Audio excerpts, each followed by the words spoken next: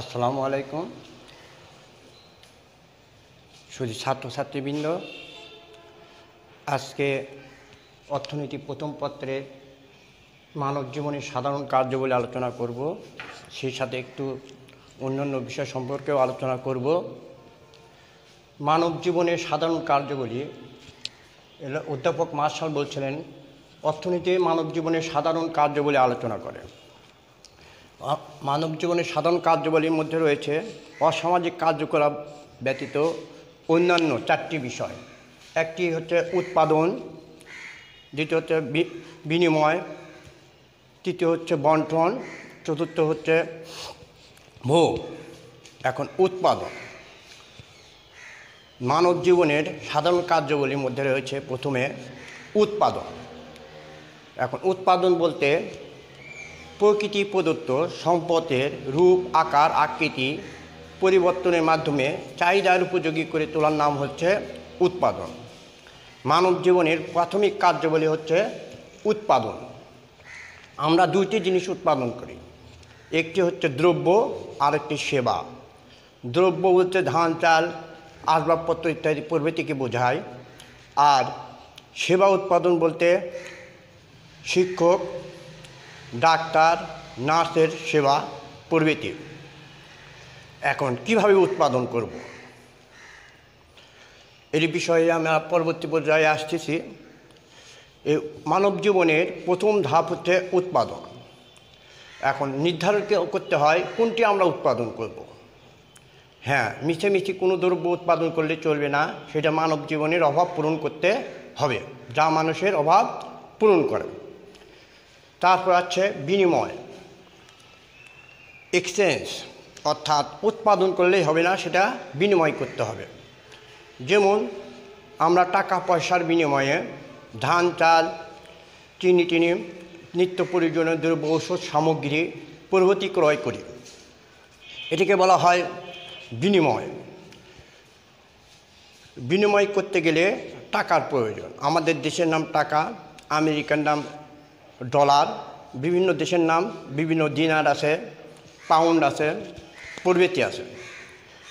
তারপর বন্টন, অর্থাৎ উৎপাদনে উৎপাদিত দ্রব্য সামগ্রী সমাজের বিভিন্ন শ্রেণির মানুষের মধ্যে বন্টন করতে হয়।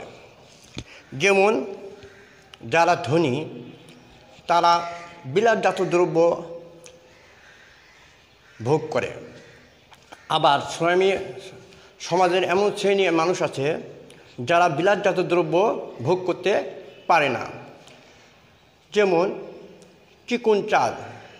চিকুন চাল মধ্যবিত্ত সহ উচ্চবিত্তরা সবাই খেয়ে থাকেন। কিন্তু মোটা চাল কে খাবে? হ্যাঁ ধনী দরিদ্র মানুষেরা মোটা চাল খায়, চালের দাম বেশি। আমি নিত্য প্রয়োজনীয়র মধ্যে চালটাই নিয়ে এসলাম। তারপরে হচ্ছে সর্বজা ভোগ। হ্যাঁ উৎপাদিত দ্রব্য, সামগ্রী কী করবে? মানুষ ভোগ করবে। অর্থাৎ ভোগকৃত দ্রব্য, সামগ্রী ভোগ উপযোগী হতে হবে। আমি পরবর্তী পর্যায়ে আসতেছি ভোগে কনজিউমার অর্থাৎ ভোগ করা। এই উৎপাদন, বিনিময়, বন্টন ও ভোগ এই চারটি উপায়ে মানুষের মানব জীবনের সাধারণ কার্যাবলী নির্ধারিত হয়। এখন উৎপাদন করতে গেলে আমাকে দুইটি জিনিস চিন্তা করতে হয়। একটি হচ্ছে মূলধন আর একটি হচ্ছে ভূমি। একই পরিমাণ একই পরিমাণ জমিতে কোন দ্রব্যটি উৎপাদন করলে লাভবান হওয়া যাবে? কোন দ্রব্যটি উৎপাদন করলে লাভবান হওয়া যাবে? আর কোন দ্রব্য উৎপাদন করলে লাভবান হওয়া যাবে না? এটা বিবেচনা করা হয়। এটা যার মধ্যে বিবেচনা করা হয়, তার নাম হচ্ছে উৎপাদন সম্ভাবনা রেখা। বই খুঁজ, বই খুললেই প্রথম পৃষ্ঠেই আছে উৎপাদন সম্ভাবনা রেখা। এর মাধ্যমে নির্ধারণ করতে হয়। এই বিষয়টিতে আমরা পরে যাব। তারপর বিনিময়। হ্যাঁ বিনিময় করতে গেলে পূর্বে বিনিময় প্রথায় প্রচলন ছিল সারা বিশ্বে দ্রব্য বিনিময় প্রথা। কিন্তু মানুষের অভাব অসামঞ্জস্য থাকায় বিনিময় প্রথাটা চালু আর নেই। তবে গ্রামগঞ্জে এখনও দুই চারটি জিনিস দেখা যায়, যেমন লোহার পরিবর্তে লবণ, চাল, কাপড় প্রভৃতি পাওয়া যায়, কিন্তু আন্তর্জাতিক বাজারে যেহেতু নেই, সেহেতু আমাদের আলোচ্য বিষয় আর ওটা নেই। বন্টন, উচ্চ ভোগ স্তরের যারা আছে, যেমন সৌদি আরব, আমেরিকা, প্রভৃতি দেশে ভোগ করে তারা পরিমাণে অন্যান্য দ্রব্য সামগ্রী। আর আমরা ভোগ করতে চাইলে প্রথমে আছে চালের বিষয়, তারপরে অন্যান্য কাপড় চুপড় এগুলোও ভোগ করা। তারপরে আসো বন্টন। সমাজের সর্বক্ষেত্রে বন্টন সুদৃঢ় করার জন্য বিভিন্ন দেশে বিভিন্ন ধরনের অর্থব্যবস্থা গড়ে উঠেছে। এখন বিভিন্ন দেশের অর্থব্যবস্থার মধ্যে পৃথিবীতে চার ধরনের অর্থব্যবস্থা প্রচলিত আছে। এক ধনতান্ত্রিক অর্থব্যবস্থা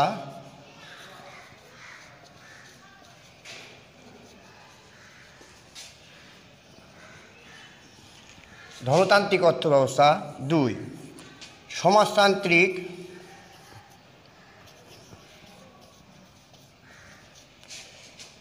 বা নির্দেশমূলক অর্থব্যবস্থা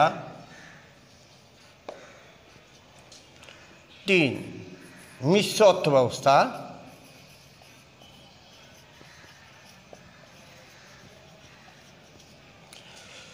চার ইসলামী অর্থব্যবস্থা।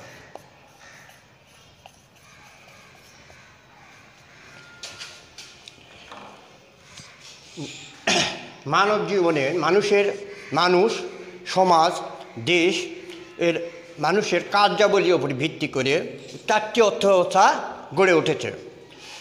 ধনতান্ত্রিক অর্থব্যবস্থা। এ, এটা গড়ে উঠেছে বিশেষ করে ধনী দেশ, বিশেষ করে ধনী দেশের অর্থব্যবস্থা, ধনতান্ত্রিক অর্থব্যবস্থা। ধনতান্ত্রিক অর্থব্যবস্থা হচ্ছে এমন এক অর্থব্যবস্থা যে অর্থব্যবস্থায় উৎপাদনের উপকরণের ওপর ব্যক্তি মালিকানা স্বীকার করা হয়। ব্যক্তি মালিকানা স্বীকার করা হয় এবং মুনাফা সর্বোচ্চকরণের উদ্দেশ্যে সেখানে উৎপাদন কাজ পরিচালিত হয়। ধনতান্ত্রিক অর্থব্যবস্থার অন্যতম বৈশিষ্ট্য হল ব্যক্তির স্বাধীনতা, অর্থাৎ উৎপাদনের উপর, ব্যবসা প্রতিষ্ঠানের উপর সর্বক্ষেত্রে ব্যক্তির স্বাধীনতা বজায় থাকে। অর্থাৎ ধনতান্ত্রিক অর্থব্যবস্থা হচ্ছে সেই অর্থব্যবস্থা যে অর্থব্যবস্থায় সম্পদের উপর ব্যক্তি মালিকানা স্বীকার করা হয়। এটা হচ্ছে সংক্ষিপ্ত আকারে সংজ্ঞা। সমাজতান্ত্রিক অর্থব্যবস্থা বা নির্দেশমূলক অর্থব্যবস্থা। এ অর্থব্যবস্থা বা ধনতান্ত্রিক অর্থব্যবস্থার উল্টো। সমাজতান্ত্রিক অর্থব্যবস্থায় সম্পদের ওপর সরকারি মালিকানা বা রাষ্ট্রীয় মালিকানা স্বীকার করা হয়। এই অর্থব্যবস্থায় নির্দেশ মোতাবেক সকল অর্থব্যবস্থা প্রচলিত হয়। অর্থাৎ সমাজতান্ত্রিক অর্থব্যবস্থায় যার যে বিষয়ে অভিজ্ঞতা আছে, সে ব্যবস্থায় হচ্ছে সরকারি নির্দেশ মোতাবেক পরিচালিত হয়। এখানে ব্যক্তি স্বাধীনতার কোনো প্রাধান্য নেই। যে যে বিষয়ে অভিজ্ঞ, তাকে সেই সেই সেই সেই কাজ পরিচালনা করার নির্দেশ দেওয়া হয়। যেমন যে শিক্ষকতা পেশার যোগ্যতা অর্জন করেছে, তাকে শিক্ষকতায় নিয়ে যাওয়া হয়। যে ধান উৎপাদনে আগ্রহী বা পারদর্শী, তাকে ধান উৎপাদন করতে দেওয়া হয়। যে ব্যবসা প্রতিষ্ঠানে আগ্রহী তাকে ব্যবসা প্রতিষ্ঠান পরিচালনা করতে দেওয়া হয়। তবে সব, সকল কিছুই সরকারি নির্দেশ মোতাবেক প্রচারিত হয়। এখানে ব্যক্তিগত মুনাফার কোনো স্থান নেই। ব্যক্তিগত মুনাফা অধিক করতে গেলে তখন দেশে শ্রেণি শ্রেণি অর্থব্যবস্থা দেখা যায়, অর্থাৎ ধনী দরিদ্র লক্ষ্য করা যায়। সেই জন্য নির্দেশমূলক অর্থব্যবস্থায় বা সমাজতান্ত্রিক অর্থব্যবস্থায় ব্যক্তি স্বাধীনতার কোনো প্রাধান্য নেই। এখানে নির্দেশ মোতাবেক, অর্থাৎ সরকার যে নির্দেশ প্রচালিত হবে, সেই অর্থব্যবস্থা দ্বারাই প্রচালিত হয়। মিশ্র অর্থব্যবস্থা। আমাদের দেশ, বিশেষ করে উন্নয়নশীল দেশে নির্দেশমূলক অর্থ মিশ্র অর্থব্যবস্থা প্রচলিত রয়েছে। মিশ্র অর্থব্যবস্থায় ধনতান্ত্রিক, সমাজতান্ত্রিক ও ইসলামী অর্থব্যবস্থা, এই তিনটি অর্থব্যবস্থার সংমিশ্রণে গড়ে তোলা হয়।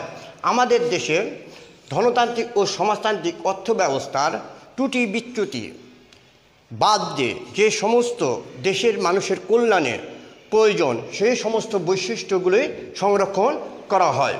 মিশ্র অর্থ ব্যবস্থায় ধনতান্ত্রিক ও সমাজতান্ত্রিক অর্থ ব্যবস্থার সংমিশ্রণে গড়ে ওঠে। যেমন মিশ্র অর্থ ব্যবস্থায় সরকারি সরকারি প্রতিষ্ঠানের পাশাপাশি বেসরকারি প্রতিষ্ঠানকেও প্রাধান্য দেওয়া হয়। ধরো, বাংলাদেশে সরকারি মালিকানাধীন পাশাপাশি এনজিও মালিকানাধীন আর্থিক প্রতিষ্ঠান প্রচলিত রয়েছে। এখানে এনজিও নন গভর্নমেন্ট অর্গানাইজেশন এখানে এনজিও তার অর্থনৈতিক কার্যাবলী সম্পাদন করবে সরকারি প্রতিষ্ঠান বা রাষ্ট্রীয় মালিকানাধীন, ধরো Sonali bank, Agrani bank, Janata bank এইগুলি তার অর্থনৈতিক কার্যাবলী সম্পাদন করে। একটি একটি ক্ষুদ্র উদাহরণ দিলাম। এই মিশ্র অর্থ ব্যবস্থা আমাদের দেশে সর্বাধিকভাবে প্রচলিত, অর্থাৎ বাংলাদেশ মিশ্র অর্থ ব্যবস্থার দেশ। ইসলামী অর্থ ব্যবস্থা। কোরআন ও সন্ন্যাহ ভিত্তিক, কোরআন ও সন্ন্যাহ ভিত্তিক যে অর্থ ব্যবস্থা প্রচলিত হয়, তাকে ইসলামী অর্থ ব্যবস্থা বলে। অর্থাৎ ইসলামী শরীয়ত মোতাবেক যে অর্থ ব্যবস্থা চলে, তাকে ইসলামী অর্থ ব্যবস্থা বলে। এই যে উৎপাদন করতে গেলে, বন্টন করতে গেলে, বিনিময় করতে গেলে, ভোগ করতে গেলে, দেখা যায় কি, ধনতান্ত্রিক অর্থ ব্যবস্থা সমাজতান্ত্রিক অর্থ ব্যবস্থা মিশ্র অর্থ ব্যবস্থা ও ইসলামী অর্থ ব্যবস্থার সংমিশ্রণ চারটাটি আছে। যেমন ধনতান্ত্রিক অর্থব্যবস্থায় কি উৎপাদন করতে হবে, ব্যক্তি সেটা নির্ধারণ করে, সরকারি নির্দেশ তেমন প্রচলিত নয়। ইসলামী সমাজতান্ত্রিক অর্থব্যবস্থা, সরকার যে সমস্ত দ্রব্য সামগ্রী উৎপাদন করার নির্দেশ প্রদান করে, সেগুলি সমাজতান্ত্রিক অর্থব্যবস্থায় প্রচলিত রয়েছে। মিশ্র অর্থব্যবস্থা, আমাদের দেশে কিছু কিছু ক্ষেত্রে উৎপাদন ক্ষেত্রে সরকারি বিধিনিষেধ থাকে, আবার কিছু কিছু উৎপাদনের ক্ষেত্রে বিধিনিষেধ থাকে না। যেমন মাদকদ্রব্য উৎপাদনের ক্ষেত্রে আমাদের দেশে কোনো আইন নেই। এখানে নির্দেশ মোতাবেক, সরকারি নির্দেশ মোতাবেক বা পরিকল্পনা মোতাবেক আমাদের দেশে অর্থব্যবস্থা প্রচলিত হয়। আবার এখানে রাষ্ট্রীয় ও মালিকানার পাশাপাশি বেসরকারি মালিকানাকেও প্রাধান্য দেওয়া হয়। অর্থাৎ মিশ্র অর্থ ব্যবস্থা, ধনতান্ত্রিক ও সমাজতান্ত্রিক ও ইসলামী এই তিনটি বিষয়ে প্রাধান্য দেওয়া হয়। ইসলাম মিশ্র অর্থ ব্যবস্থায় হালাল ও হারাম, অর্থাৎ ইসলামী অর্থ ব্যবস্থায় যেগুলি হালাল এবং হারাম, সেগুলি বাদ দেওয়া হয়। যেমন, বাংলাদেশে তুমি শুকুরের মাংস পাবা না অর্থাৎ শুকুরের মাংস যেহেতু ইসলামী অর্থব্যবস্থায় হারাম, সেহেতু আমাদের দেশেও হারাম। আমাদের দেশ মিশ্র অর্থব্যবস্থার দেশ। ধনতান্ত্রিক অর্থব্যবস্থায় পাওয়া যাবে, সমাজতান্ত্রিক অর্থ অর্থ ব্যবস্থাতেও পাওয়া যাবে, কিন্তু মিশ্র অর্থব্যবস্থায় পাওয়া যাবে না। মিশ্র অর্থ ব্যবস্থা হচ্ছে এর অর্থব্যবস্থা যে অর্থব্যবস্থায় ধনতান্ত্রিক অর্থব্যবস্থা, সমাজতান্ত্রিক অর্থব্যবস্থা ও ইসলামী অর্থব্যবস্থার সংমিশ্রণে গড়ে তোলা হয়। অর্থাৎ এই তিনটি জিনিসের তিনটি অর্থ ব্যবস্থার বিকল্প অর্থ ব্যবস্থা হচ্ছে মিশ্র অর্থ ব্যবস্থা যেটা আমাদের দেশে বহুলভাবে প্রচলিত। তোমাদের প্রশ্ন যদি আসে যে বাংলাদেশ কোন অর্থ ব্যবস্থার দেশ? বাংলাদেশ মিশ্র অর্থ ব্যবস্থার দেশ। ধরা যাক দুইজন মেয়ে, একজন বলতেছে, মোবাইলে চ্যাটিং চলতেছে। বন্ধুত্ব গড়ে উঠেছে একটি দেশের সাথে একজনের নাম আফরোজা আর একজনের নাম মিতু। আফরোজা বলতেছে, তোমার দেশের অর্থ ব্যবস্থা কেমন? বলতেছে, আমার দেশের অর্থ ব্যবস্থা সম্পূর্ণ ব্যক্তি মালিকানায় প্রচালিত হয়। এখানে ব্যক্তি স্বাধীনতাকে সর্বাধিক প্রাধান্য দেওয়া হয়। আর মিতু বলতেছে, এখান থেকে। আর আফরোজা বলতে, আমার দেশের অর্থ ব্যবস্থা কোনো ব্যক্তি স্বাধীনতা নেই। এখানে সরকারি নির্দেশ মোতাবেক সকল অর্থ ব্যবস্থা প্রচলিত হয়। তাহলে আফ্রিকার দেশে সমাজতান্ত্রিক অর্থ ব্যবস্থা বা নির্দেশমূলক অর্থ ব্যবস্থা প্রচলিত রয়েছে। আর মৃত্যুর দেশে ধনতান্ত্রিক অর্থ ব্যবস্থা প্রচলিত রয়েছে। এবার এসে যদি এরই ভিতরে কেউ বলে যে তোমার দেশের অর্থ ব্যবস্থা কেমন? যদি বলে যে আমাদের দেশের অর্থব্যবস্থায় সরকারি ও বেসরকারি, উভয় মালিকানায় অর্থব্যবস্থা প্রচালিত হয়। তবে সেটা হবে মিশ্র অর্থব্যবস্থা। ইসলামী অর্থব্যবস্থায় ইসলামী অর্থব্যবস্থায় যেহেতু হালাল, হারাম এবং কোরআন ও সন্ন্যাহভিত্তিক অর্থব্যবস্থা প্রচলিত, সেই জন্য এখানে অনেক বিধিনিষেধ থাকে। একে এই ইসলামী অর্থব্যবস্থাকে সময় সময় ইসলামী নির্দেশমূলক অর্থব্যবস্থাও বলা হয়। তবে তোমাদের পাঠ্য বিষয়ের মধ্যে রয়েছে ধনতান্ত্রিক অর্থব্যবস্থা, সমাজতান্ত্রিক বা নির্দেশমূলক অর্থব্যবস্থা, মিশ্র অর্থব্যবস্থা ও ইসলামী অর্থব্যবস্থা। এই চারটি অর্থব্যবস্থার মাধ্যমে সারা পৃথিবীতে মানব জীবনের সাধারণ কার্যাবলী সম্পাদিত হয়। অর্থাৎ সমাজ, মানুষ, রাষ্ট্র, মানুষের কার্যাবলীর উপর ভিত্তি করে চার ধরনের অর্থব্যবস্থা প্রচলিত রয়েছে। আচ্ছা ধনতান্ত্রিক অর্থব্যবস্থাও আমাদের দেশে অল্প অল্প লক্ষ্য করা যায়, যেহেতু আমাদের মিশ্র অর্থব্যবস্থা প্রচলিত। যেহেতু এখানে ব্যক্তি স্বাধীনতাও প্রাধান্য দেওয়া হয়েছে, আবার সময় সময় সরকার নির্দেশমূলক, সরকার নির্দেশ প্রদান করে। যেমন অধিক মুনাফা লাভের আশায় বর্তমানে যেটা পেঁয়াজের বাজার, সেটা নিয়ন্ত্রণ করল পরবর্তীবারে সরকার নির্দেশ মারফতে মা- নির্দেশমূলকভাবে সমাজতান্ত্রিকের কিছু নিয়ম যেহেতু আমাদের দেশে প্রচলিত রয়েছে, নির্দেশমূলক অর্থ ব্যবস্থার মাধ্যমে সরকার বলে দিল যে পেঁয়াজের মূল্য এর আগে নির্ধারণ করা হয়েছিল পঁয়তাল্লিশ টাকা, পরে নির্ধারণ করা হলো আশি টাকা। অর্থাৎ সরকার এখানে সময় সময় হস্তক্ষেপ করে বা নির্দেশ দিয়ে থাকে। আবার এটা আমাদের মিশ্র অর্থব্যবস্থায়, আবার ধনতান্ত্রিক অর্থ ব্যবস্থায় কে কত মুনাফা অর্জন করতে পারে? এর কোনো বিধিনিষেধ নেই। তবে ধনতান্ত্রিক অর্থব্যবস্থায় একাধিক ব্যক্তি মুনাফা লাভের উদ্দেশ্যে একই ধরনের দ্রব্য সামগ্রী উৎপাদন করতে পারে। সমাজতান্ত্রিক অর্থব্যবস্থা আবার ভিন্ন। সবাই চাইলেই সমাজতান্ত্রিক অর্থব্যবস্থায় সকল দ্রব্য উৎপাদন করতে পারে না। সরকার নির্দেশ দিবে যে এই সমস্ত দ্রব্য উৎপাদন করা যাবে, এই সমস্ত দ্রব্য উৎপাদন করা যাবে না। আমাদের মিশ্র অর্থ ব্যবস্থাও ওই কথাও কিছু কিছু লেখা আছে যে এই সমস্ত দ্রব্য উৎপাদন করা যাবে, এই সমস্ত দ্রব্য উৎপাদন করা যাবে না। সেটা মানুষের উপর নির্ভর করে।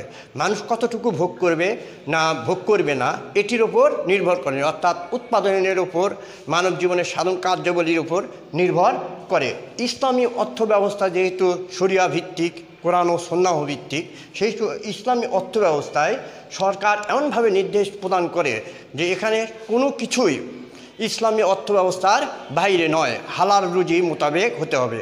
সেখানে মুনাফার কোনো স্থান নেই। মিশ্র অর্থ ব্যবস্থায় মুনাফার স্থান আছে। সমাজতান্ত্রিক অর্থব্যবস্থায় মুনাফার লাভের স্থান নেই।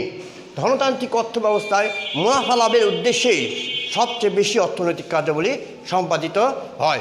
যেমন আমেরিকায় কে কোন দ্রব্য উৎপাদন করতেছে, সেই দিকে সরকার কোনো মাথা ব্যথা করে না বা নির্দেশ প্রদান করে না। যে যা খুশি করতেছে করুক।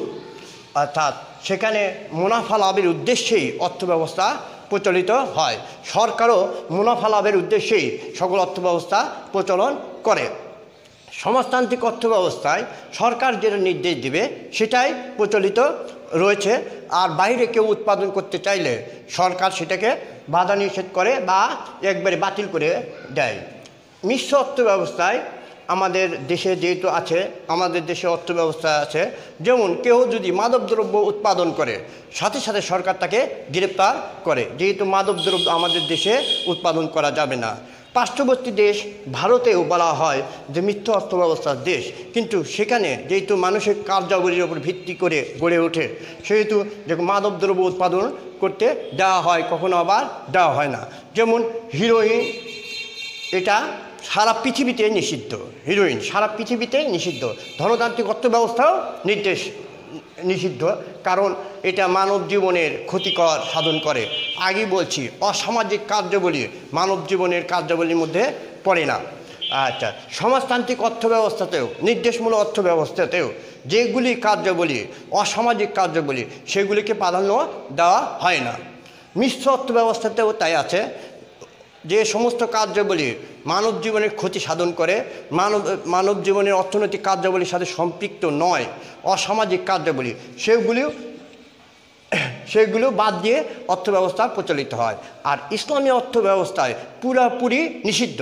তবে ইসলামী অর্থব্যবস্থায় বলা আছে যে, যদি কেহ অন্যান্য দ্রব্য অর্থাৎ মানব বিধ্বংসী দ্রব্য যদি উৎপাদন করে, তার শিরচ্ছেদ করা হয়, অর্থাৎ তার প্রচণ্ড শাস্তি প্রদান করা হয়। তাহলে আমরা জানি যে মানব জীবনের কার্যাবলীর উপর ভিত্তি করে ধনতান্ত্রিক অর্থব্যবস্থা, সমাজতান্ত্রিক অর্থ ব্যবস্থা মিশ্র অর্থব্যবস্থা ও ইসলামী অর্থব্যবস্থা এই চারটি অর্থব্যবস্থা গড়ে উঠেছে। প্রিয় শিক্ষার্থী, পরবর্তী পর্যায়ে আমরা যেহেতু উৎপাদনে এসে গেছি, উৎপাদন, অর্থাৎ কোন দ্রব্য উৎপাদন করব আর কোন দ্রব্য উৎপাদন করতে, করব না। কোন দ্রব্য উৎপাদন করলে লাভবান হব এবং কোন দ্রব্য উৎপাদন করলে ক্ষতিগ্রস্ত হব, সেই বিষয়ে অঙ্কনের মাধ্যমে পরবর্তী ক্লাস আমার শুরু হবে। ধন্যবাদ সবাইকে। সবাই সুস্থ থাকুন, ভালো থাকুন।